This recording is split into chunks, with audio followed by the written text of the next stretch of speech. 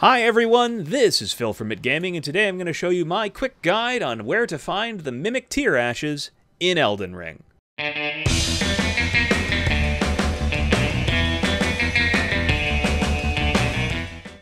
The Mimic Tear Ashes are an amazing item in Elden Ring, and they allow you to make a ghost copy of yourself to fight alongside you. You know, in case you don't have any friends, like I do. It's fine. But anyway, what you're going to need to do is you're going to need to make your uh, way to Nokron, the Eternal City. And uh, this uh, Site of Grace is only available, and Nokron, the Eternal City is only available if you have defeated Star Scourge Radahn. Now, once you start at the Site of Grace, you're simply going to run past pretty much everything in Nokron. And you're going to make your way first to a fog gate originally. So the, the gate I'm approaching here used to be a fog gate for me. And there is a boss in there that is not super hard to fight, but it's entirely depending on what you bring in, and I'll leave it at that. I don't want to spoil any more than I have to. But once you defeat the boss in here, uh, you'll then make your way to the left, and once you pass these gates, you are now able uh, to mount up and ride the rest of the way. And this walkway is like remarkably long, and uh, it doesn't seem like it is, but it does take a little bit. But once you get to the end of the walkway, you're going to hang a left, and you're going to go through a small little bit of forest that has some ghost minotaurs that are fairly easy to avoid. But again, keep to the left. What we're looking for is we're looking for a small gap in the cliff face, and in between the gap, you will see a site of grace.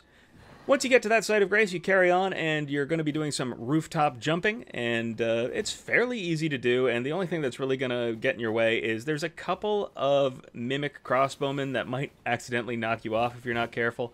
But uh, honestly, not too hard. One thing that is important to remember is that you will need to have a stone sword key in order to access the Mimic Tear Ashes because they are locked behind a stone sword key door. So as long as you have a stone sword key, you can open the door, and here is the aforementioned door.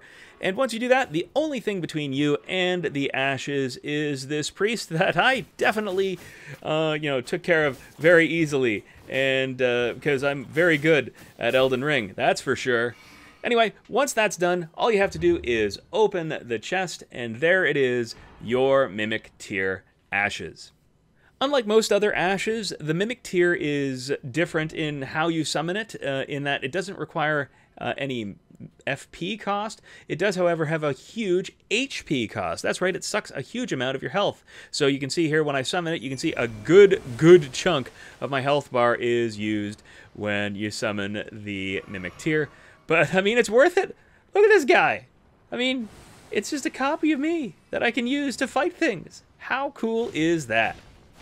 Do you have any more tips with the Mimic Tear Ashes? Tell us what they are in the comments below. If you found this video useful, please feel free to leave a like, comment, or subscribe to the channel. And as always, have fun out there!